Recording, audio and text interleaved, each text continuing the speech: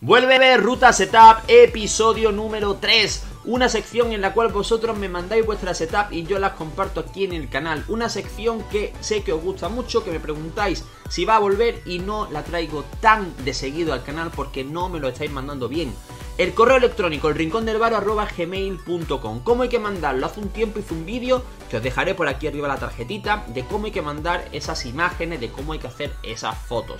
No tiene ningún secreto, que haya una buena iluminación, hacer varias fotos de cómo tenemos la setup montada, una imagen general, otra que apunte a los periféricos, varias que apunten a los periféricos, teclado, ratón, varias. Otra al monitor, varias del PC también, una en la cual se vea el PC completo, otra que se vea el PC, por ejemplo, desde dentro apuntando a la gráfica, procesador, todo este tipo de cosas y que eso, que tenga una buena iluminación que esté medianamente ordenado. Así que si queréis aparecer, tiene que ser de esta manera. Y sin más, empezamos con Ruta Setup, episodio número 3. Comencemos esta Ruta Setup con la del amigo Guillermo Gemi. Él nos dice, me llamo Guillermo Gemi, soy de Montevideo, Uruguay, estudio arquitectura y esta es la PC que me armé hace un par de años para diseño, edición y juegos. Aún hoy sigue siendo bastante bestia, también blogueo en YouTube de vez en cuando, por eso tengo mi pared con polímero antirruido y un trípode con una cámara. Él me dice, te envío esta setup ya que me parece algo especial ver un socket 2011 original con placa X79 y tampoco se ven mucho la doble GPU como la mía, así que creo que este setup es bastante único. Me dice, la mesa como te habrá dado cuenta es una mesa de dibujo de arquitectura súper espaciosa.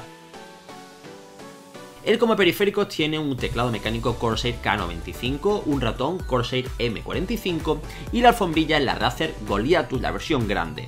Como monitor tiene un pedazo de monitor, el Asus XG270HU, un monitor de 1440p con un tiempo de respuesta de 1 milisegundo, 144 Hz y además tiene también FreeSync. Vamos ahora por el PC y si hablamos de especificaciones tenemos un procesador Intel Core i7 Extreme Edition 3960X, un procesador que veremos muy poco probablemente por este ruta setup, procesador del socket LGA 2011 con 6 núcleos y 12 hilos. En cuanto a disipador, un Antec H620, placa base Asus P9X79LE, evidentemente del chipset X79, memoria RAM 5 DIMMs de 8 GB cada uno de la marca Crucial a 1600 MHz. Almacenamiento, un disco duro de 1 TB y un SSD de Samsung, el 840 Evo, de 240 GB. Tarjeta de vídeo, una versión dual de AMD, la MSI R9 295. Eh, como fuente de poder, una muy buena fuente de alimentación de la marca Seasonic, una marca que me gusta muchísimo, modelo Platinum de 1050 watts. En cuanto al gabinete, él cuenta con el Corsair Carbide 300R Windows. Ahora es el turno del amigo Yasser Shafik, él me dice, buenas Varo, me llamo Yasser y en el setup tengo lo siguiente, un monitor BenQ Zowie 2411 de 24 pulgadas 144 Hz, un monitor que yo conozco de primera mano, monitor con panel TN, tiempo de respuesta un milisegundo y que recomiendo mucho para eSports, sobre todo tipo shooter. Teclado, él tiene el New Skill Hansi. El ratón es el Mionic Castor Shark Grey, una alfombrilla New Skill Atami Control, los auriculares, uno que me decís que lo, salen bastante buenos, los que lo tenéis y que se escuchan realmente bien, a pesar de ser unos auriculares gamer, que son los Kingston HyperX Cloud 2, cuenta también con una PS4 con dos mandos y una New Nintendo 3DS XL que todavía sigue recibiendo juegos, lo de esta consola es increíble. En cuanto al bicho, el PC tiene un grandísimo equipo. Procesador, un i5 7600K de Intel, vale. Pero como tarjeta gráfica tiene una envidiable, que es la GTX 1080 de Gigabyte, modelo G1 Gaming. Pedazo de tarjeta gráfica con la que puede jugar incluso a 4K y que yo tal vez le daría de comer un monitor de 144 Hz pero de 1440p, es decir, con esa resolución y en 27 pulgadas es lo que me pide el cuerpo darle de comer a esta tarjeta gráfica. Sé ya ser que es más caro, lo sé, que casi duplica el precio de lo que cuesta nuestro monitor, pero no sé. Eso, es lo que me pide el cuerpo, darle eso a esa tarjeta gráfica. En cuanto a placa base, tiene una también de Gigabyte, modelo GAZ270, Gaming K3, dos módulos de memoria RAM cada uno de 8 GB a 3000 MHz, de Corsair, modelo Bengam, disipador Tazens Mars Gaming, un disco duro Seagate Barracuda de 1 TB SATA 3, un SSD Kingston de 120 GB, fuente de alimentación una Nox Urano de 750 watts y la caja una ZXT S340 que a mí es una de las cajas que más me gustan, yo tal vez me compraría el modelo Elite, pero esta es muy muy bonita. Turno ahora del amigo Fosgrego, que además me manda un mensaje en el cual me dice que no tenía mucha idea sobre PC, que es el primero que monta, que tuvo que buscar mucha información y así me encontró en YouTube.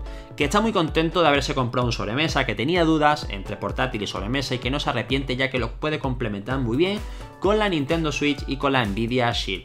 Y que además con este PC que tiene, que vamos a ver ahora, puede jugar a 1080p en calidad de alta y ultra a 60 FPS, que es justo lo que quería. Monitor, él tiene uno de Asus, de 23 pulgadas, no me especifica modelo, pero creo que es 60 Hz IPS. Corregidme si me equivoco, pero creo que es así. Auriculares, Triton Kunei, mando Xbox One, mando que me gusta mucho, teclado, uno mecánico de la marca Ozone, el Stick Battle con switches Cherry MX Red. El ratón es el Ozone Neon M10, alfombrilla Ozone S y en cuanto al ordenador tiene el procesador AMD Ryzen 5 1600, para mí el procesador estrella calidad-precio del año 2017. Disipador Bright Spire, placa base MSI B350 Pro Carbon. Tiene dos módulos de 8 GB cada uno de la marca G-Skill. Tarjeta gráfica la 1060 de 6 GB de MSI, la Gaming X, una muy buena tarjeta gráfica para 1080p. Como decía, él puede jugar prácticamente a todo, calidad de alta, ultra, 60 FPS sin ningún tipo de problema. Fuente de alimentación, la EPGA 650 de 650 watts, evidentemente, con certificación 80 Plus Gold y modular. Una pedazo de fuente de alimentación y te felicito, la verdad, porque has elegido muy, muy bien en cuanto al almacenamiento.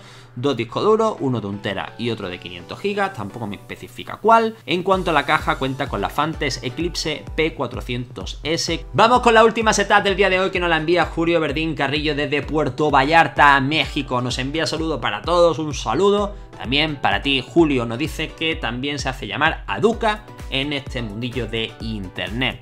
Dice que me sigue desde hace poco, pero que le gusta mucho el canal. Pues muchas gracias, Julio.